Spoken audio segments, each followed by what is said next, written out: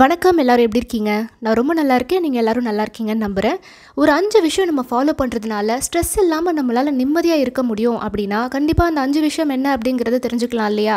உங்கள் இலக்குகளை நீங்கள் சூப்பராக கான்சென்ட்ரேட் பண்ண முடியும். சின்ன விஷயத்துக்காக டிப்ரெஸ் ஆகாமல் உங்கள் வேலையில் கான்சென்ட்ரேட் பண்ண முடியும். நம்ம மனசு நிம்மதியாக இருந்தால் அதுதானே மிகப்பெரிய ஒரு வெற்றி.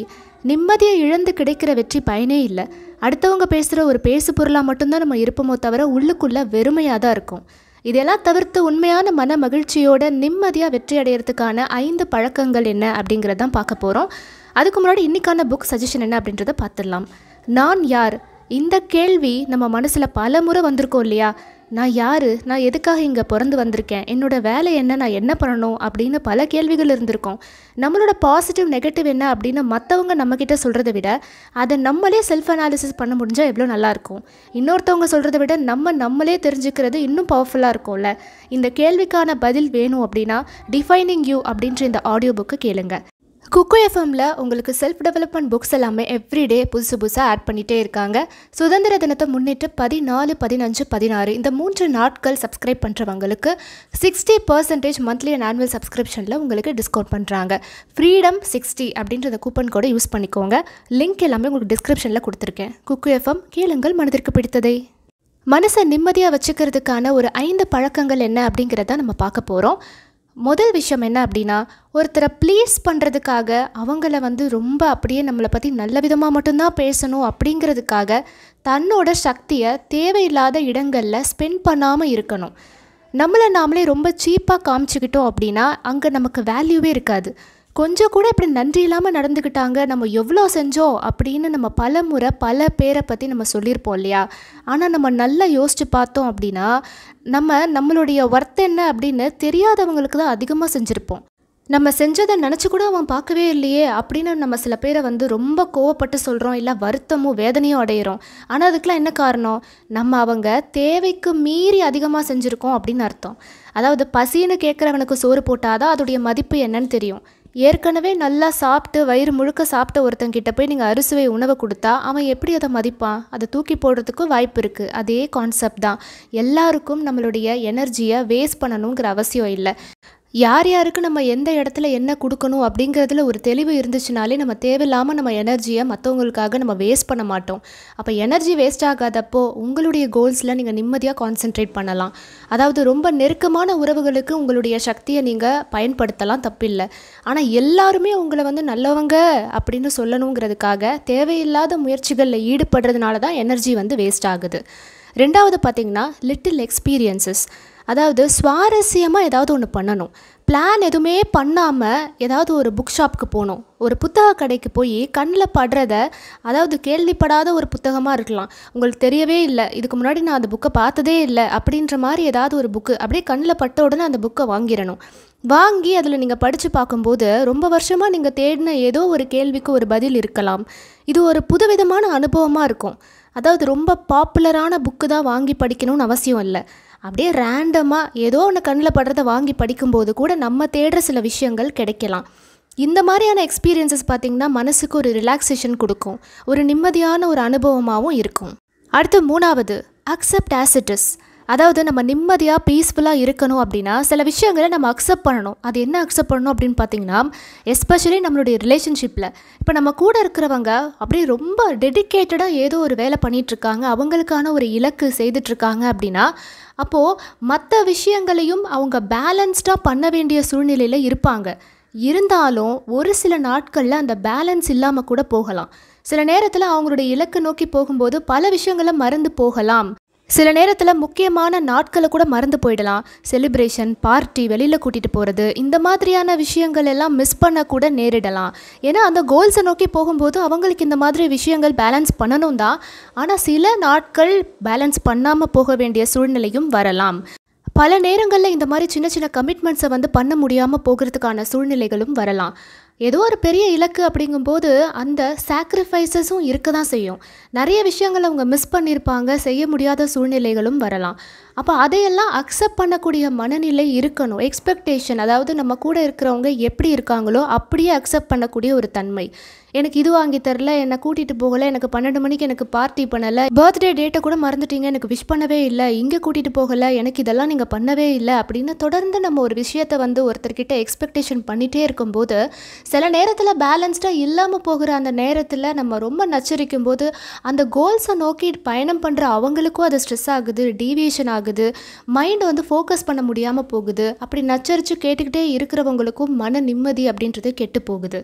அப்போ இந்த மாதிரியான நபர்களை அப்படியே அக்செப்ட் பண்ணிட்டு எப்போ அவங்க பேலன்ஸ்டாக போகிறாங்களோ அப்போ என்ஜாய் பண்ணிட்டு ஒரு சில நேரத்தில் அவங்களால பண்ண முடியாத சூழ்நிலை வரும்போது அதையும் ஏற்றுக்கொள்ளக்கூடிய பக்குவம் இருந்துச்சு அப்படின்னா நம்மளால் நிம்மதியாக பீஸ்ஃபுல்லாக வாழ முடியும். அதே மாதிரி தான் சில பெண்கள் ஒர்க் பண்ணுறாங்க ஒரு நாள் முழுக்க வேலை பார்த்துட்டு ஈவினிங் வரும்போது அப்பையும் அவங்களே தான் எல்லா வேலையும் செய்யணும். ஏன் சமைக்கலை? ஏன் பாத்திரம் கழுவல? ஏன் வீடு இப்படி இருக்குது அப்படின்னு தொடர்ந்து அவங்கள போட்டு நச்சரிச்சுக்கிட்டே இருந்தால் அவங்க என்னதான் பண்ண முடியும்? ஒவ்வொருத்தரும் தன்னுடைய வேலையை முடிக்கிறதுக்குன்னு ஒரு ஸ்ட்ராட்டஜி வச்சுருப்பாங்க. வீக்லி ஒன்ஸ் நம்ம இதை பண்ணலாம் அப்படின்னு எடுத்து வச்சுருப்பாங்க. பெண்டிங் வச்சு முடிக்கிறதுக்காக எடுத்து வச்சுருக்காங்க அப்படின்னா அந்த நேரத்தில் போயிட்டு நீ எதுக்கு இப்படி வேலை செய்யாமல் இருக்கிற? வீட்டில் ஒரு வேலை செய்கிறது இல்லை எல்லாம் பாரு அப்படியே போட்டது போட்ட மாதிரியே இருக்குது நீ வேலைக்கு போகிறதுனால தான் இதெல்லாம் பண்ண முடியல. அப்படின்னு சொல்கிறதுனால ஏதாவது ஒரு யூஸ் இருக்கா? சில நேரத்தில் சமைக்க முடியாமல் கூட போகலாம். அதுவும் பாருங்கள் பிஸ்னஸோ இல்லை ஏதோ ஒரு இலக்கு நோக்கி வேலை செய்கிறப்ப எல்லாத்தையும் வீட்டில் அப்படியே பர்ஃபெக்டாக பண்ணுறதுக்கான சூழ்நிலை கண்டிப்பாக இருக்காது. இதுதான் இயல்பு. அப்போ ஒரு ஜென்ஸு எப்படி தன்னுடைய கனவை நோக்கி போகிறப்ப சில விஷயங்களை செய்ய முடியாமல் போகுதோ அதே மாதிரி தான் லேடிஸ் தன்னுடைய கனவை நோக்கி வேலை செய்கிறப்ப அடிக்கடி கிச்சன் போய் வேலை பார்க்க முடியாத சூழ்நிலை வரலாம். அதை அப்படியே அக்செப்ட் பண்ணுற மனநிலை வரணும். பர்த்டே அன்னைக்கு தான் செலிப்ரேட் பண்ணணும்னு அவசியம் இல்லை. எப்போ ஃப்ரீ டைம் இருக்கோ எப்போ வேணாலும் பண்ணிக்கலாம். எல்லா நாளும் ஒன்று தான் இங்கே தான் வாங்கி தரணும். இல்லை அங்கே தான் கூட்டிகிட்டு போகணும் அப்படின்லாம் இல்லை. எங்கே போனாலும் என்ன பண்ணாலும் அதையும் ஒரு செலிப்ரேஷனாக மாற்றிக்க முடியும். இதுதான் இயல்பான ஒரு விஷயம். எதுவுமே நமக்கு ஃபார்முலாஸ்லாம் கிடையாது. இப்படி தான் இருக்கணும் இப்படி தான் வாழணும். எனக்கு இதெல்லாம் பண்ணால் தான் எனக்கு சந்தோஷம். அந்த மாதிரி எதுவுமே ப்ரீ டிட்டர்மைண்ட் ஒரு விஷயம்லாம் இல்லாமல் இருந்துட்டோம் அப்படின்னா எக்ஸ்பெக்டேஷன்ஸ் குறைஞ்சிட்டாலே நமக்கு அந்த நிம்மதி அப்படிங்கிறது வந்துடும் நீ தான் சமைக்கணும் நீ தான் பிள்ளைங்களை பார்த்துக்கணும் அப்படின்னு கிடையாது. வீட்டில் இருக்கிற எல்லாருமே எல்லா வேலையும் செய்யலாம். எல்லாரும் கூட இருக்கிறவங்களுக்காக சப்போர்ட் பண்ணலாம் அட்ஜஸ்ட் பண்ணலாம். இதுக்கு பேர் தான் அக்செப்டன்ஸ் சில சாக்ரிஃபைஸ் பண்ண வேண்டிய சுச்சுவேஷன்ஸில் நம்ம செஞ்சு தான் ஆகணும்.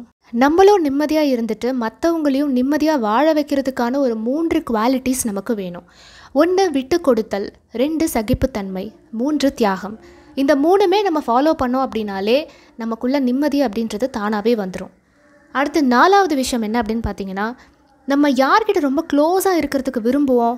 நல்லா யோசிச்சு பாருங்கள் நீங்கள் யார்கிட்டலாம் ரொம்ப நெருக்கமாக பழகுறீங்க? யாரோட அதிகமாக கான்வர்சேஷன் வைக்கும்போது உங்களுக்கு ரொம்ப சந்தோஷமாக இருக்குது சேஃபான ஒரு ஃபீல் வரணும்.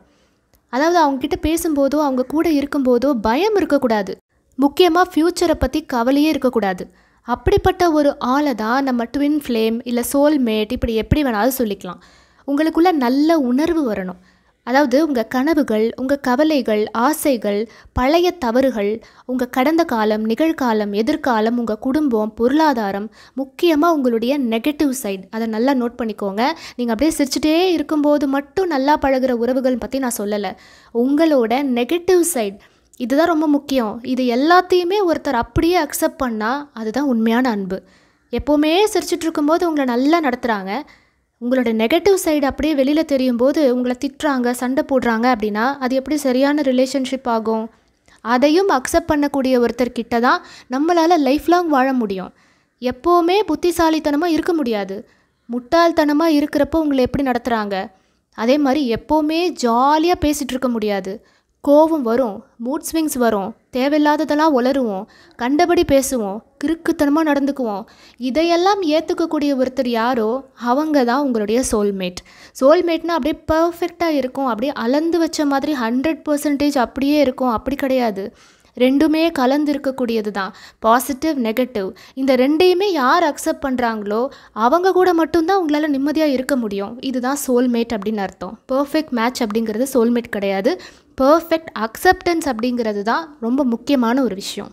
அடுத்த அஞ்சாவது விஷயம் என்ன அப்படின்னு பார்த்தீங்கன்னா உங்கள் பிரெயினை சக்ஸஸ்க்கு ட்ரெயின் பண்ணுறது எப்படி? உங்களுக்கு பிடிக்காத அல்லது கம்ஃபர்டபுள் இல்லாத ஏதாவது ஒரு வேலையை அட்லீஸ்ட் வீக்லி ஒன்ஸ் பண்ணணும். அதாவது உபயோகமான ஒரு வேலை தான் இருந்தாலும் எனக்கு பண்ணுறது பிடிக்காது அப்படின்ற மாதிரி ஏதாவது இருக்கும்ல அதை வீக்லி ஒன்ஸ் ட்ரை பண்ணணும். ஏன் அப்படின்னு பார்த்தீங்கன்னா இந்த பிரெயினை நம்ம ட்ரெயின் பண்ணுறோம் கம்ஃபர்டபுள் இல்லாத ஒரு வேலையாக இருந்தாலும் அதை நம்மளால் செய்ய முடியும். அதை செய்யாமல் நம்ம ஓடிடணும் அப்படின்ற அந்த கூண்டுக்குள்ளே இருந்து வெளியே வரணும். அதாவது கம்ஃபர்ட் ஜோனை விட்டு வெளியே வந்தால் மட்டும்தான் நம்மளால் நிறைய அச்சீவ்மெண்ட்ஸை பண்ண முடியும். இப்போ எக்ஸாம்பிளுக்கு சொல்கிறேன் உங்களுக்கு வந்து ஒரு பாத்திரம் கழுவுறதோ இல்லை ஏதோ ஒரு விஷயம் வந்துட்டு உங்களுக்கு பண்ணுறது பிடிக்காது. ஆனால் ஆனால் அது உபயோகமான ஒரு வேலை தான். இருந்தாலும் பிடிக்காதுன்னு இருக்குல்ல.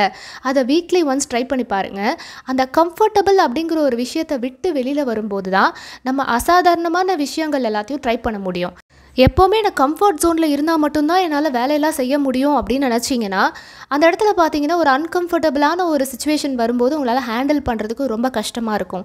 அப்போ பிரெயினை ட்ரெயின் பண்ணணும் அப்படின்னா உபயோகமான ஏதாவது ஒரு வேலை ஆனால் உங்களுக்கு பிடிக்காதுன்னு இருக்கிற விஷயங்களை கூட ட்ரை பண்ணணும். அந்த மாதிரி செய்யும்போது உங்கள் பிரெயினை உங்களால் ட்ரெயின் பண்ண முடியும். ரொம்ப கஷ்டமான சூழ்நிலையில் கூட நீங்கள் என்ன நினைக்கிறீங்களோ அந்த விஷயங்களை நிம்மதியாகவும் செய்ய முடியும். ஸோ இந்த பதிவு கண்டிப்பாக உங்களுக்கு பயனுள்ளதாக இருந்திருக்கும் அப்படின்னு நினைக்கிறேன். மீண்டும் இதே போல் ஒரு சூப்பரான பதிவில் உங்கள் எல்லாரையும் சந்திக்கிறேன். நன்றி. வாழ்க வளமுடன்.